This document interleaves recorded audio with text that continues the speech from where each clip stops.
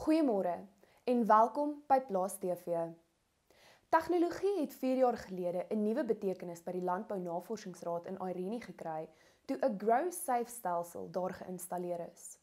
Met hierdie stelsel kan navorsers nou 'n paar keer 'n dag akkurate lesings oor diere se gewig as ook voerinname kry.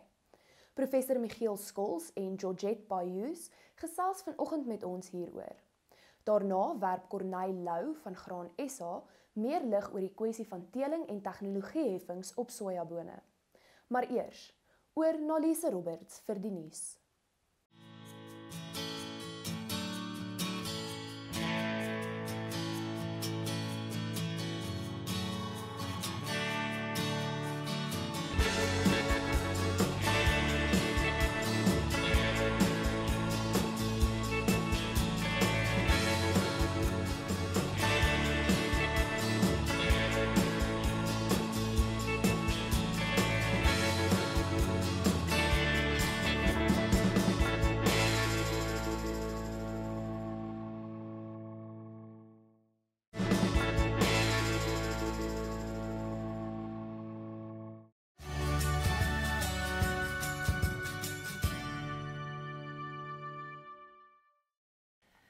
Good morning. According to recent figures released by the South African Wine Industry Information and Systems, wine exports continue to decline in May.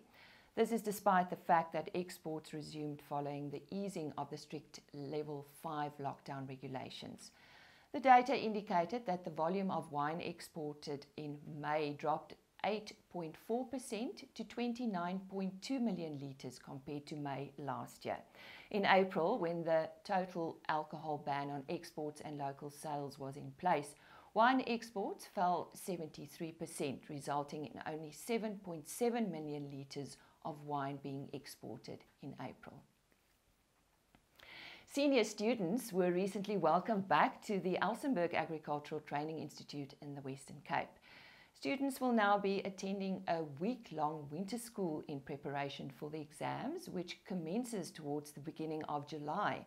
Students with high temperatures are not allowed onto campus, and those in the hostel will be immediately placed under quarantine. Self isolation facilities are also available should the need arise. The AgBiz IDC Agribusiness Confidence Index fell from the neutral 50 point mark in the first quarter of the year to 39 in the second quarter. This indicates that agribusinesses were downbeat about prevailing business conditions in South Africa. The TEM sub indices that make up the index also showed a significant decline in the second quarter of the year, with most reaching their lowest levels since 2009. This follows despite the fact that South Africa's agricultural and food sector has, for the most part, been operational during the lockdown period. Plus TV recently visited the ARC in Irene to find out more about the Grow Safe system that gives accurate readings on animal weight and feed intake. Stay tuned for the inserts from this visit. Simparica by Zuyetis, your best friend's best friend.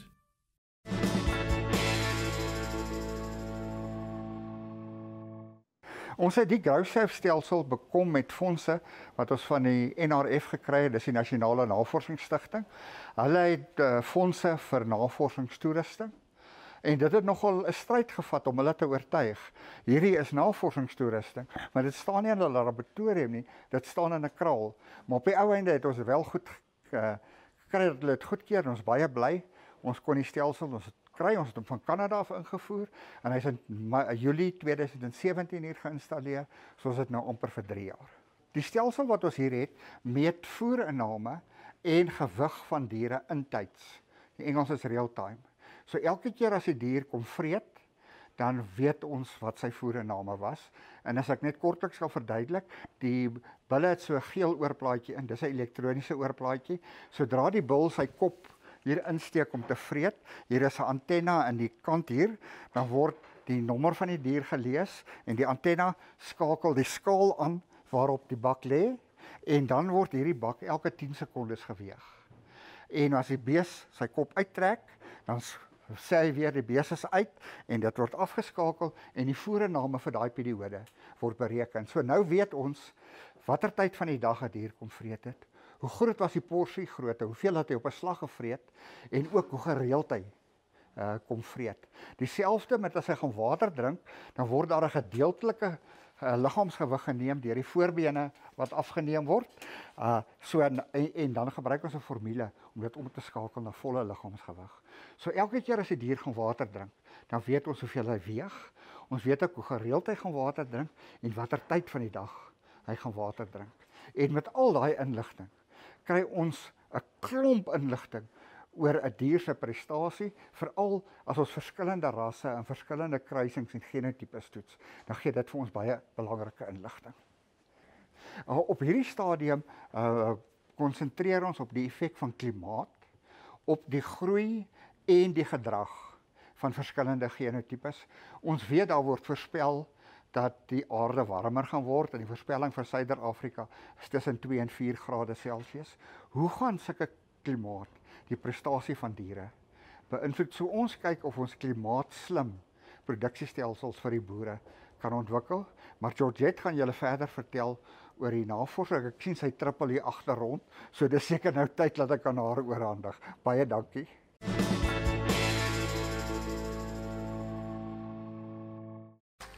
In vandag se markverslag wil dit voorkom asof bees- en skaapvleispryse die afgelope week redelik swaar getrek het, maar die afwaartse veranderinge was redelik klein gewees en die grootste verloder was A2 lamkarkasse wat se prys met 2.3% gedaal het. Goeie nuus is dat die varkvleisprys met 1% gestyg het week op week. Wat natuurlike vesel aanbetref, het beide die pryse van wol en bokhaar gedaal die afgelope week in terme van die wolprys terwyl die rand dollar verswak het, het die wol prys nog steeds met 4.2% gedaal en in dollar terme is hy net oor die 7% swakker. Bokhaar het die fyn en bokhaar redelik goed gedoen op die veiling met 'n sterk vraag, maar die sterker haar se pryse het heelwat afgekom. Wat die graanmarkte aanbetref, het geelmielies en oliesade redelik goed gedoen week op week met val geelmielies wat 'n goeie stygings van 6.5% in prys gehad het. Wisselkoerse het die rand dollar met 3.2% verswak die laaste week terwyl die euro rand wisselkoers met 1.9% verswak het.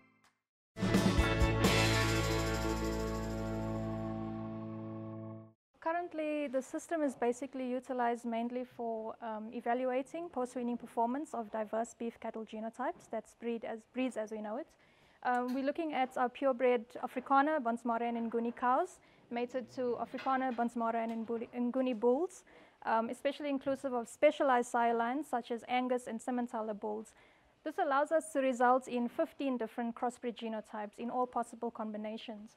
Uh, we then want to look at their behavior in the system, their feed and water intakes, um, their feeding patterns, their behaviors, their water behaviors, and how it is affected by extreme climates such as heat stress.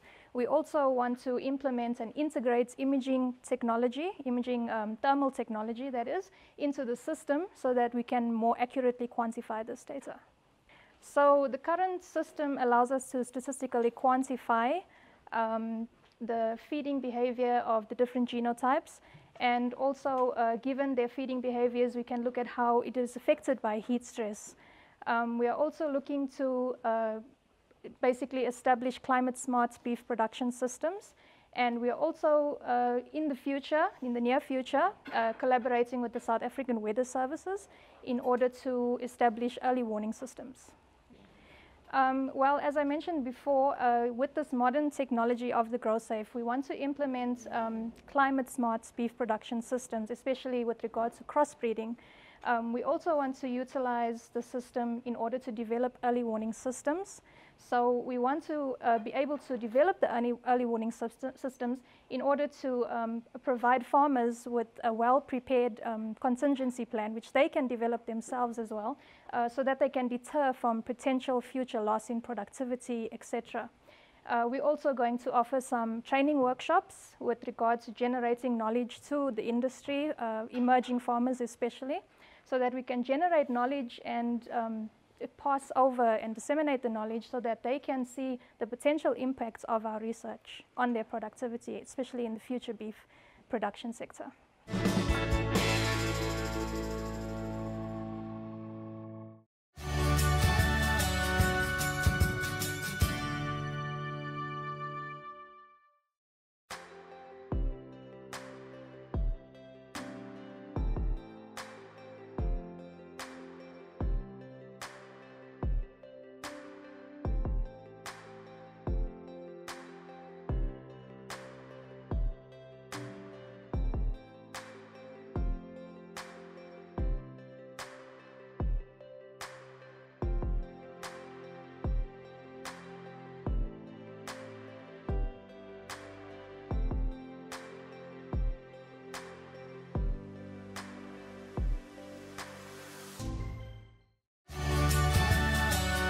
Standard Bank.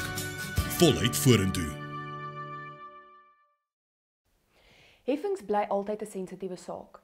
'n Mens voel naderhand foos betaal aan heffings en mens weet nie waarvoor jy betaal of wat jy daaruit terugkry nie. Ons gesels vanoggend met Corneil Lou van Graan SA oor een so heffing, die teeling en tegnologie heffing op sojabone. Môre Corneil en welkom hier by ons. Kom ons begin sommer by die begin. Hoekom is daar 'n teeling en tegnologie heffing op sojabone? Die teeling en tegnologie heffing het het 'n lang pad wat hy nou al kom. Maar ek dink soos wat jy in jou inleiding gesê het, produsente is sensitief vir heffings betaal, uh belasting betaal. Jy jy voel half jy betaal jou foos en jy weet nie regtig wat wat jy daar uitkry nie. Uh as mens nou maar die ehm um, belasting op brandstof vat byvoorbeeld, jy betaal en, en betaal en betaal, maar jy weet nie wat word daarmee gedoen nie. Nou dit kan mens baie goed verstaan dat nog 'n heffing soos hierdie teeling en tegnologie heffing op sojabone ook vir 'n produsent voel soos 'n belasting wat hy betaal. Maar ek dink in hierdie geval ehm um, is dit 'n heffing op elke ton wat 'n produsent sy sojabone oplewer wat hy betaal, maar tog is daar 'n teenprestasie.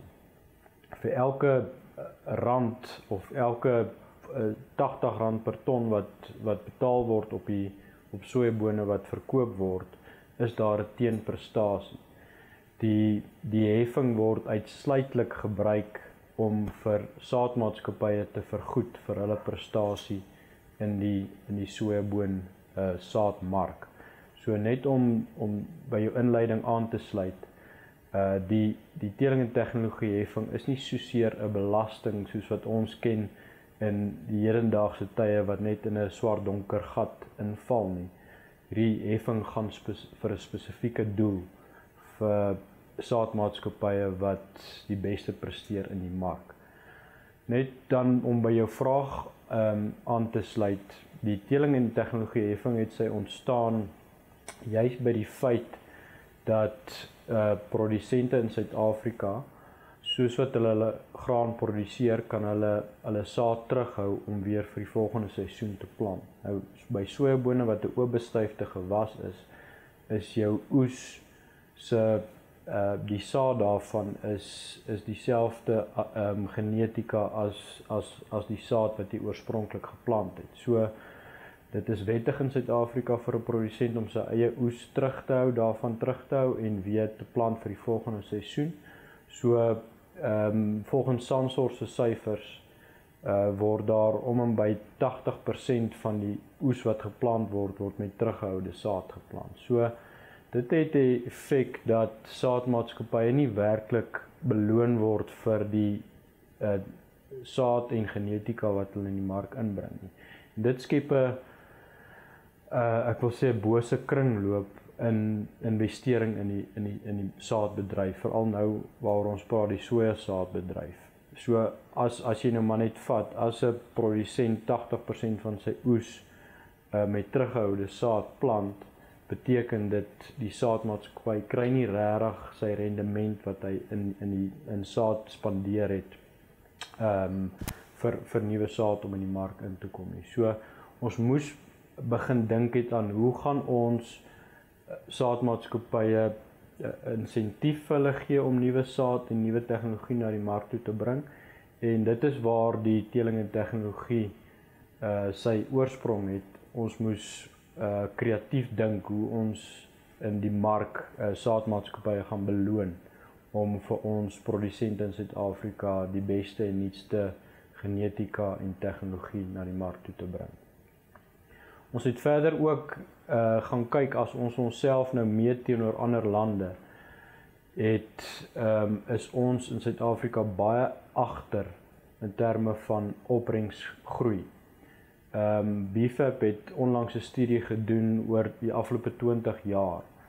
Brasilië en, en Amerika het stygings in hulle opbrengs gehad van oor die 1% per jaar hulle opbrengs gegroei het terwyl Suid-Afrika se slegs 0.46% per jaar gegroei het. So ons is agter daai kurwe en met hierdie teeling en tegnologie heffing probeer ons die saadmark stimuleer sodat ons by daai kurwe van ons kompeteerders in die internasionale mark kan kan byhou. Waar staan ons met die teeling en tegnologie heffing en wat is die bedrag betaalbaar? Deedrey, ons is nou in die tweede jaar van die teeling en tegnologie heffing op op sojabone. Die eerste jaar wat einde Februarie 2020 geëindig het, was R65 per ton gewees. Vanaf Maart 2020 is dit R80 per ton. So ons is nou in ons tweede jaar. Ehm um, gewasse soos soos koring en gars is ons nou al in in sy vierde jaar waar daar teeling en tegnologie heffing is. Net om 'n goeie voorbeeld te gebruik in hierdie termyn wat die uh, teeling en tegnologie heffing vir koring en en gars al aan die gang is, was daar al iets soos 19 nuwe kultivars by koring wat in die mark ingekom het. So definitief sien ons al reeds die voordele van die teeling en tegnologie heffing veral in wintergrane wat uh wat na vore kom. Om terug te kom by by by sojabone. Soos ek gesê het, ons is nou in ons tweede jaar van die teeling en tegnologie heffing. Ehm um, wat wat sojabone aanbetref, tans is die die bedrag R80 uh, per ton. Die die bedrag word bereken op 1.2% van die sojaboonprys. 1% daarvan gaan vir die genetika, die kiemplasma soos wat die teelers dit noem en 0.2% gaan vir die tegnologie gedeelte daarvan.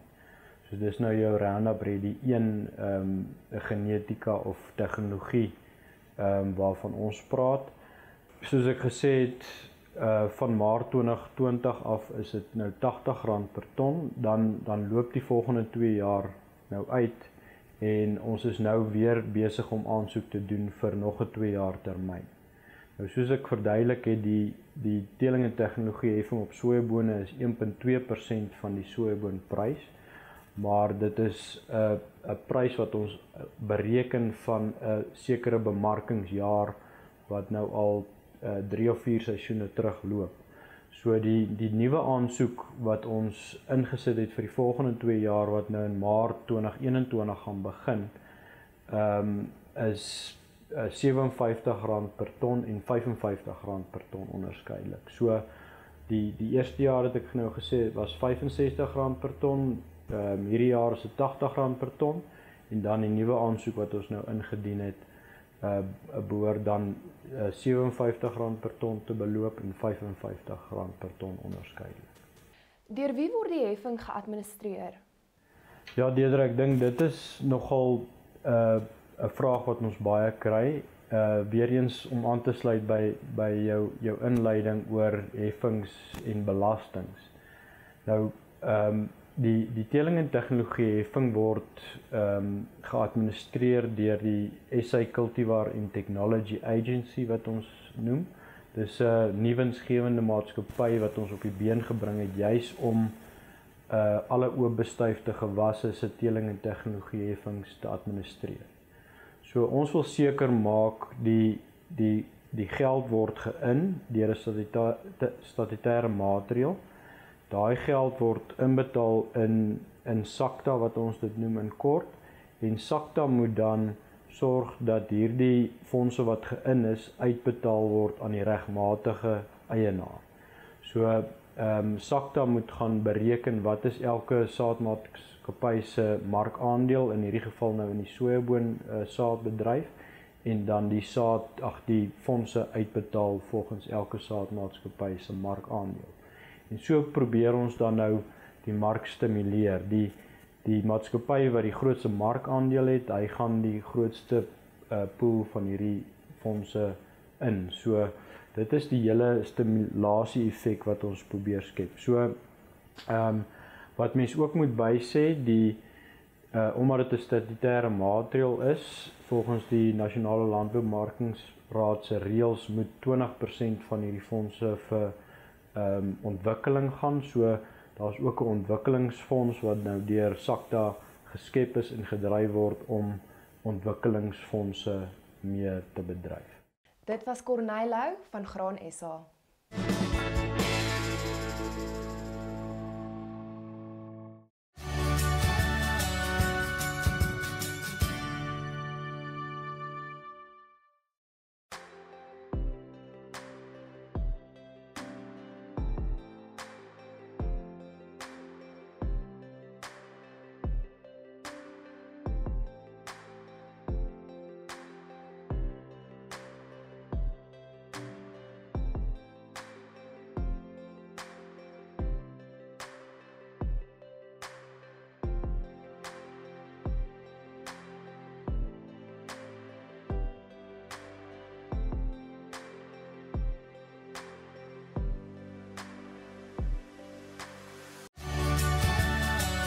Allflex, livestock intelligence.